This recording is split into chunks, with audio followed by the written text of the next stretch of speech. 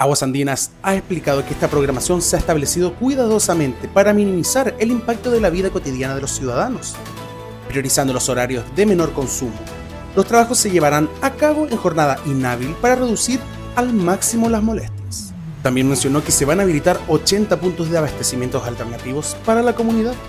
Si deseas verificar si tu calle estará afectada, vas a encontrar en la descripción de este video la lista de las calles que van a estar en este proceso.